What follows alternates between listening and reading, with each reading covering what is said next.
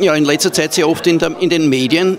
Leider Gottes äh, kann man sich nicht vorstellen, dass das in diesem Jahrhundert noch notwendig ist, dass man sowas besprechen muss. Das stimmt ja, also ich frage mich das auch, äh, warum das noch notwendig ist, aber wir sehen es, es ist leider noch so. Ähm, aber deswegen gibt es ja auch Events wie diese, Events wie heute diese Pressekonferenz oder diesen Ball, der in Simmering in, eine, in einer Location stattfindet, die äh, vorher noch nicht zu queer war. Wir ke kennen natürlich das Rathaus und andere Locations, die natürlich sehr viele Events schon gehostet haben. Aber eben es ist, glaube ich, einfach ganz wichtig, dass wir einfach zeigen, dass wir auch keinem was antun, dass wir einfach da sind und dass wir eigentlich für ein Miteinander sind und nicht äh, uns gegenseitig ausschließen. Wobei das ja eine Kunstform ist, was ich so verstanden habe. Also mir wurde das erklärt, es ist eine Kunstform und hat nicht zwingend mit einer sexuellen Orientierung zu tun. Äh, prinzipiell ist Drag hat äh, nichts mit einer sexuellen Orientierung zu tun. Drag ist eine Kunstform, Drag gibt es schon sehr lange. Äh, Drag kommt sogar eigentlich äh, von Shakespeare, Dressed as a Girl. Das heißt, das hat schon wirklich den Ursprung von damals vom Theater, äh, wo einfach Männer, also Männer in Frauenrollen dargestellt wurden. Und äh, hat, also es gibt unterschiedliche sexuelle Orientierungen, die Drag machen. Drag ist eine, ähm, im Prinzip, äh, man spielt mit den Geschlechterrollen, mit den äh, Geschlechterrollen, die uns die Gesellschaft vorgibt. Äh, irgendwie Kleider dürfen nur von Frauen getragen werden, etc. Äh, was einfach natürlich eher bei Drag aufgebrochen werden kann, um zu zeigen, es ist komplett egal, ob man Make-up hat oder ein Kleid trägt, im Endeffekt zählt der Mensch darunter und auch nicht das Geschlecht, sondern wirklich das Innere vom Menschen.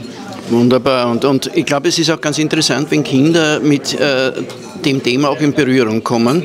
Weil ich weiß es selbst, es gibt Kinder, die sich die, der Mama ihre Schuhe anziehen, der Mama ihr Kleid einmal ausprobieren und das hat auch in dem Alter nichts mit sexueller Orientierung zu tun. Nein, natürlich. Also äh, Kinder äh, sind äh, experimentieren. Wir wissen das, wir waren selber Kinder, wir haben selber gerne experimentiert. Ich habe auch die Ausbildung zur Sexualpädagogik. Äh, von dem her ist es auch ganz wichtig, einfach den Kindern offen zu lassen, Kinder zu sein. Und wenn sie mich sehen, äh, dann meistens kommentieren sie die Farben und die Buntheit, aber die sexuelle Orientierung ist denen egal. Von dem her, die, die denken auch gar nicht so weit. Aber es ist auf alle Fälle wichtig, ihnen zu zeigen, dass man äh, irgendein Künstler ist, dass man künstlerisch bunt sein kann und dass man, wenn man vielleicht äh, als Außenseiter, Außenseiterin dasteht oder glaubt man, man ist Außenseiterin, dass man da auch Mut fasst und vielleicht in einer Kunstform wie Drag oder im Malen und im Endeffekt hat beides ja mit Malen zu tun, ähm, weil mir hat es geholfen, zu mir selber zu stehen und vielleicht hilft es dann auch einer anderen Person. Also meine Kinder waren von ihr begeistert. Die durften sie schon kennenlernen und fanden das natürlich super. Nein, ich finde auch, dass es eine ganz eine tolle Sache ist und ich finde auch nichts dabei. Gerade ich finde es gut, wenn man Kindern vorliest. Ja, der Clown, der ist akzeptiert. Genau, also Vorlesen ist ja auch pädagogisch wertvoll.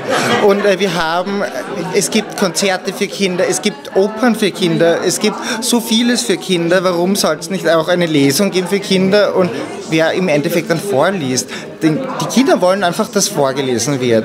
Wer da vorne sitzt, ist dann meistens äh, nebensächlich äh, und ähm, die Bücher, aus denen ich vorlese, haben natürlich auch einen Ansatz, einen, äh, wo eben Personen oder Charaktere sind, die von der Gesellschaft ausgeschlossen sind, die aber im Laufe der Geschichte natürlich zu sich finden und wieder äh, inkludiert werden in die Gesellschaft und vor allem sind es auch österreichische Bücher und nicht die klassischen äh, Prinz-Prinzessin-Bücher die wir alle kennen, weil es einfach nicht mehr darum geht, ob der, die Prinzessin so quasi den Prinzen findet und umgekehrt, sondern einfach um zu sich selber zu stehen.